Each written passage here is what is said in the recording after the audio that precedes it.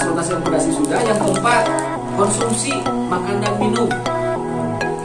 Saya ada dua opsi. Pertama kita ngambil dari nasi lewat nasi pakai nasi bus Dua ke.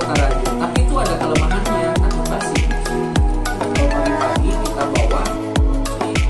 Pertama kita ngambil dari nasi lewat nasi pakai nasi bus Dua ke